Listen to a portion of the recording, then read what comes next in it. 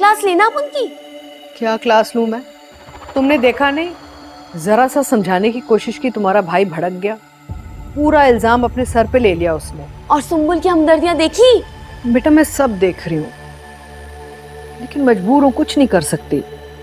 आसिम की अभी इतनी हालत नहीं है कि मैं कुछ कहूँ। और तुम भी ना नेहा के साथ जरा सही रहो।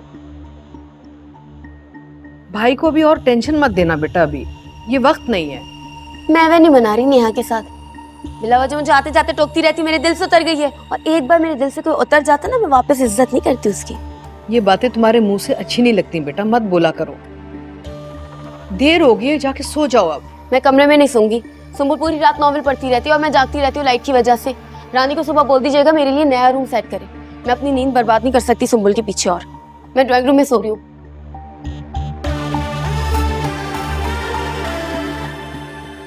मेरे बच्चों ने मुझे कभी तंग नहीं किया है।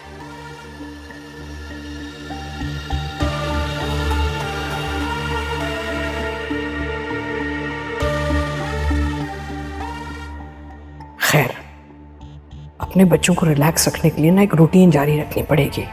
संभालना पड़ेगा सब कुछ।